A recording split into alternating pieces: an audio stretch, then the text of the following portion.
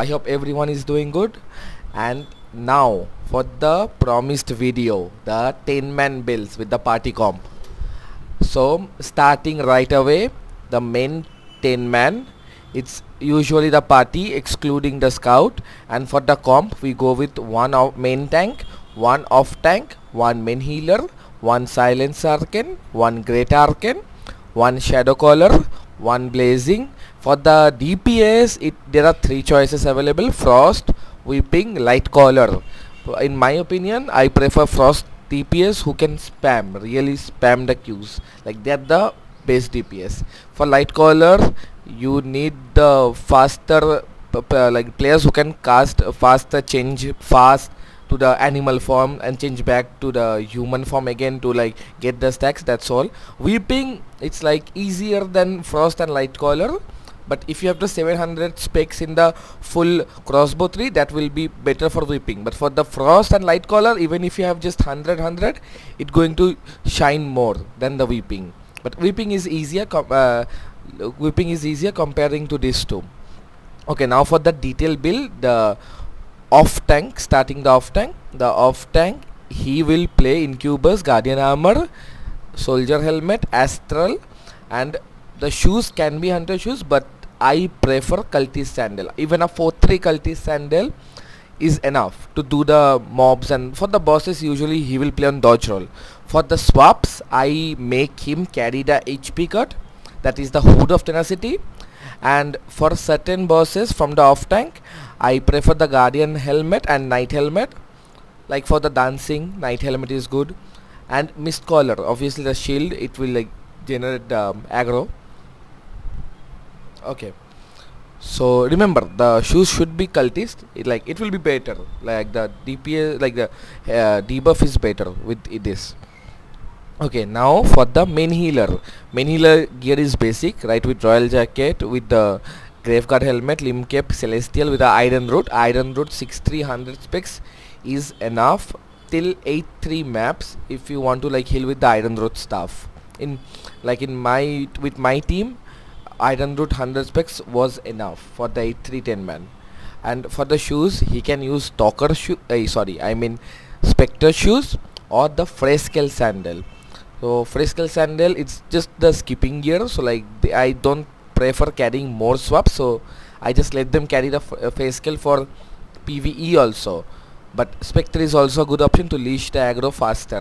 And for the bosses the main healer should only use a Hallowfall since Hallowfall is good with the E like it can heal up to 5 players and then the cooldown is also decreasing with the each uh, if the Hallowfall E is hit on a party member. Okay now starting the arcanes the supports starting silence arcane. The silence arcane build is same as 20 man just for the hood he will go with the stalker hood. Like when he you call when the raid leader call for the silence he will use his guardian armor and when his guardian armor duration is about like a, a 8 o'clock when the guardian armor is like at 8 o'clock cast he can use the stalker hood and he can go back to the party to get cooldowns from the great arcane or from the main healer who is using that time. For the swaps it's same knight helmet guardian helmet assassin hood like assassin hood for construct assassin hood for the uh, even assassinhood good for the okay and bms occult enigmatic. Okay this is the pretty much of and for the silence icon he needs to have a Bridgewatch cap it's better. And for the food go with the avalonian beef sandwich. It's better. It's cheaper right now. Anyway. Okay now for the second arcane. Great arcane. Great arcane is same as 20 man. No difference but for the swaps of great arcane it will be a fallen and a druid cowl okay that's all for the great arcane now for the shadow caller dps i prefer a dps shadow caller in 10 man. In 20 man you can play whatever you want but in 10 man it's a dps shadow caller. In for my avars it's like royal robe with a druid cowl and with space feyscale sandal or spectre shoes whatever the you party member prefer. Uh, for the cape he can use Caerleon cape. Since he have the druid cowl anyway so as you can see it's like a support shadow caller anyway but the DPS of shadow caller itself is way high. So you don't have to worry. Like the, if the shadow caller even just use q and w he is still going to be a good dps and for the e shadow caller e the debuff it will be always on the main tank. Like decreasing the resistance the armor of the mobs. It's always like that. For the shadow caller swaps it will be a fallen and a guardian armor. The fallen can be minimum maximum take it 5-3 as the fallen swap. Like many many a times what happens in my uh, for my party construct on the second phase like when the boss need 10 dancer I usually change the shadow caller to fallen and guardian armor. Like maybe there will be no pierce the PS is 0 actually from that time but if the DPS is good and they have like bolt caster and other things it's enough to melt a boss. But uh, so I just let my shadow caller play guardian armor and fallen. The fallen is actually as an emergency for other bosses. If the by chance the great arcane party healer dies then the shadow caller will leash the aggro and just try to change to fallen and revive the great arcane I mean the party healer first. And that's pretty much it for the shadow caller. Now for the blazing the blazing build is simple like the same thing. And for the swap uh, the blazing should need Morgana cape and royal cowl royal that's for the boss swaps. The royal cowl will give him mana like so that he will not have not mana not that much mana issues. And obviously there will be the shadow caller and great arcane on the boss like I mean the party healer who will like change druid cowl and give mana to the blazing if needed. Like blazing is the most mana hungry build in the whole comp. But blazing is like a top tier DPS okay. For the swaps remember it should be a Morgana cape 4-3 it's enough and a Royal Cowl for the bosses. Now going for the light caller light caller it's same as the blazing but for the light caller swap it should be a hellspawn staff with a druid Cowl swap okay so I prefer a boltcaster more than hellspawn but uh, my party members they prefer Hellspawn more. So I just went with their choice and I just added the Hellspawn. But Hellspawn as a single target DPS is also good. Maybe don't offer the PS as the Boltcaster W, Thundershot, but Hellspawn is good. So remember for the light caller your boss swap will be Hellspawn and a Druid Cowl. Okay now going for the next DPS the Frost DPS. The Frost DPS is same build as the 20 man. Like nothing changed to be honest. But for the shoes remember either feyscale or spectre shoes. For the boss swap it will only carry a wildfire staff. Wildfire is better compared to the one hand fire. Like wildfire there is no cast time for the E. But on the one hand fire there is a cast time. So on a lot of bosses if the like the, for the last boss if the slam is on you then you don't have enough time to dodge.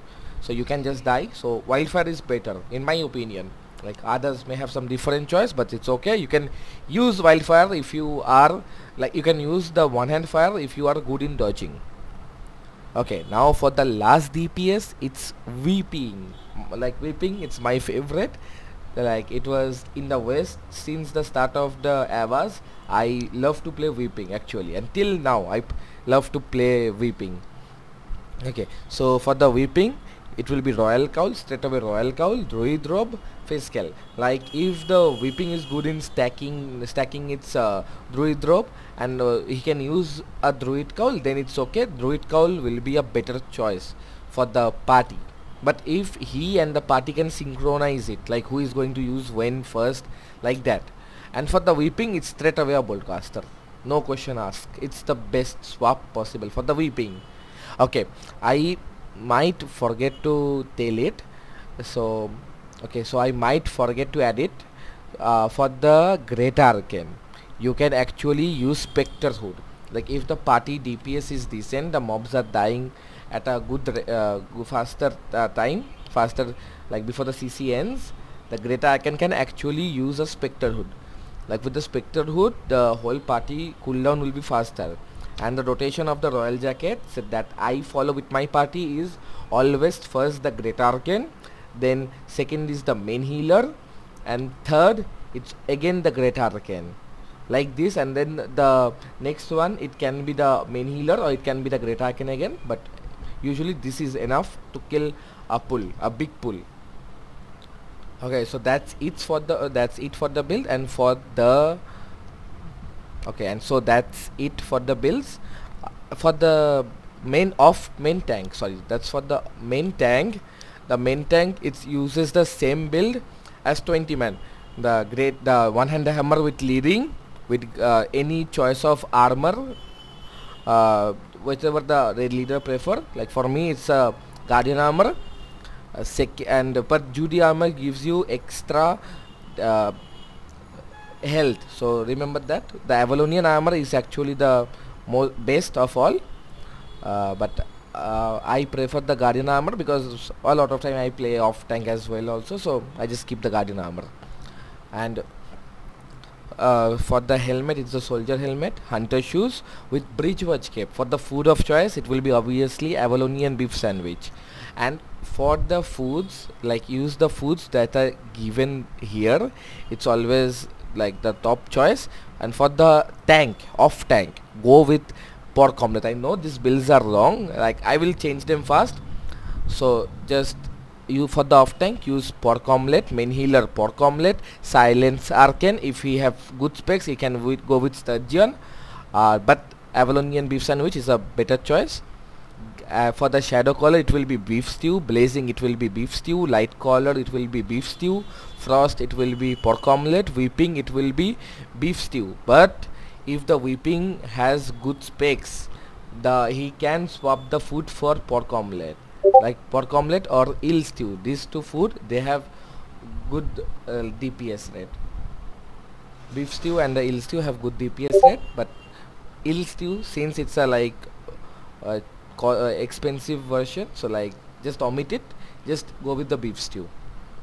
Okay so that's it for the build. Remember in 10 man the rotation of the jackets the dps uh, specs and the dps how much like they are spamming. All these things are important.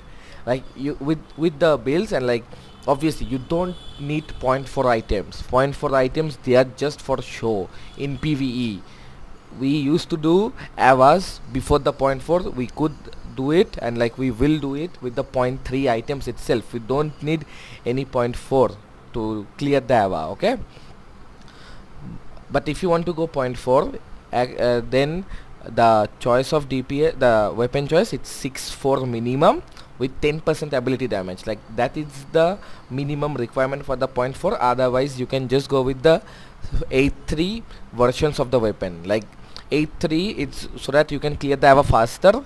And obviously uh, you will like have no issues with the weapons. But uh, if you want to go with 0.4 obviously you can go uh, with the ability damage 6.4 weapon at the minimum requirement. Like with this 8.3 100 specs weapon on like the frost and light caller uh, we did 8.3 ava with zero deaths. Like that's how easy 10 man is.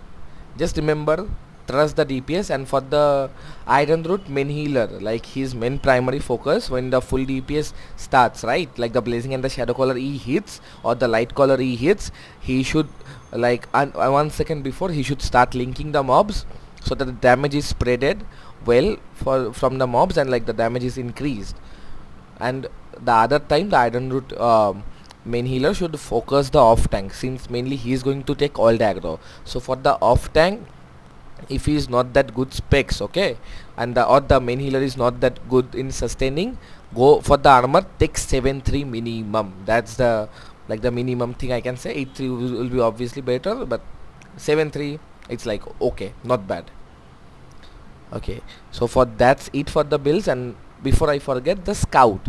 The scout he should always go with a bedrock or the great arcane whatever the party prefers or whatever the raid leader prefers bedrock is better. Like if eh, like obviously the scout will be in party so he can just push away the or uh, maybe the gankers or the divers away from the group. Like that's better. Compared to great arcane because the great arcane after you drop it one time there will be like a 12 second immunity. So bedrock is better in my opinion. Bedrock with a knight armor or a fiend robe. And for the helmet of choice it's always a judicator helmet. Like even a 4-1 scout is enough to protect a party okay so that's it for the build. Like if you have any questions like don't sh uh, be shy. Just ask it. Like 10 man hours they are the most profitable right now. Comparing with the 20 man. 20 man you will blob and then if you are inside the hour obviously the divers if they see a blob there is they will go for it. But in 10 man what happens? If you guys are not blobbing like obviously you will not blob like when you have 11 players together you will actually see the blob. But since you are 10 you will not blob. The divers they usually check the first two pools uh, and just leave the ava like you can spam avas better. And 10 man they are actually easier. Like the party managing is always easier for the raid leader. Like not that much you don't have to take that much load for the uh, party. So my opinion 10 man is good. Just spam it till SBI decide to nerf it. Or maybe like the HP regen of the mobs. Like maybe they will add something more like that in future. Just sp keep spamming the 10 man make money make profit. Okay that's it. Okay thank you for your time. Like if you have any question again just comment it. Obviously I am not that active but I will go for through all the comments. And I will answer each and every one. And I am working on a discord okay I hope you guys will like it. When I open it like that discord will mainly for the giveaway for my channel so that I we can grow bigger. And for the all the things like the boss rotation the bug rotation how to do each pull I will try to give it there. Like obviously I am not, not that good in explaining the things but I will just try my best so that anyone with zero idea can just go through the video and learn how it's done. Raid leading it's not that hard. You just have to remember what's coming. That's all. Okay thank you everyone